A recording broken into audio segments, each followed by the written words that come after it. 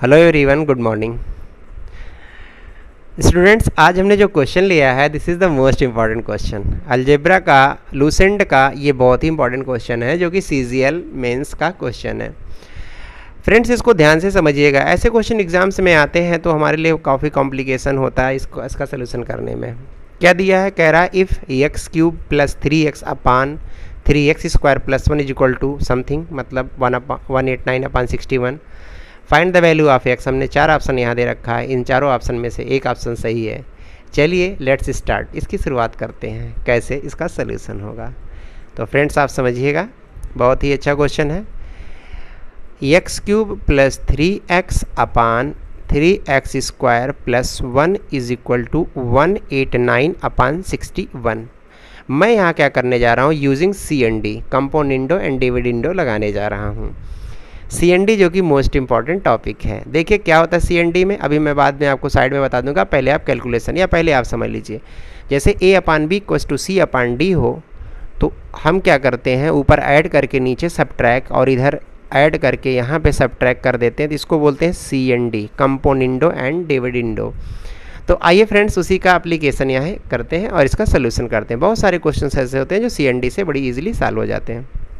तो यहाँ पे अगर आप यूज़ करते हैं तो X cube plus three X and plus three X square and plus one देखिए आप हमने क्या किया? पूरे को ए सपोज़ किया तो पूरा ए प्लस बी कर दिया। अपान लगा देते हैं, नीचे A minus B X cube plus three X minus three X square and minus one friends आप समझ सकते हैं, यहाँ पे वन एट नाइन अब प्लस सिक्सटी वन यहाँ पे 189 eight nine minus sixty one कर देते हैं।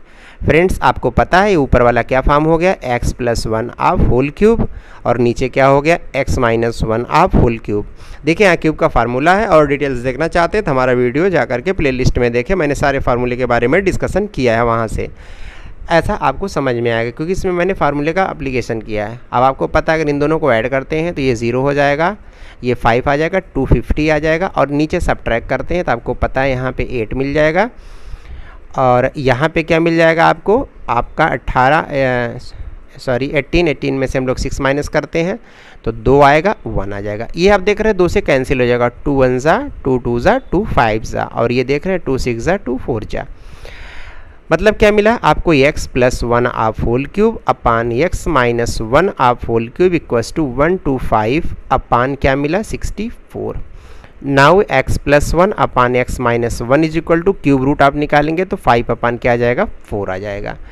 फ्रेंड्स आइए क्रॉस मल्टीप्लाई करते हैं. फोर का इसमें फाइव का इसमें तो यहाँ हो जाएगा four x and plus four यहाँ आ जाएगा five x and minus five इधर लाएँगे ट्रांसपोज करेंगे तो माइनस एक्स हो जाएगा, उधर जाके माइनस नाइन हो जाएगा, माइनस माइनस कैंसिल हो गया, एक्स इक्वस टू क्या मिल गया? Nine.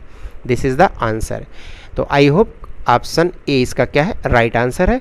तो ये C N D based question था, जिसको मैंने पूरा डिटेल्स बताया फ्रेंड्स और ये सी जी एल मेन्स का क्वेश्चन है, और लूसेंट का क्वेश्चन है। तो प्लीज़ फ्रेंड्स अगर हमारा वीडियो पसंद आता है, आपको समझ में आता है तो प्लीज़ इसको लाइक सब्सक्राइब शेयर करना बिल्कुल ना भूलें। नेक्स्ट वीडियो में फिर मिलेंगे, तब तक के लिए थैंक यू सो मच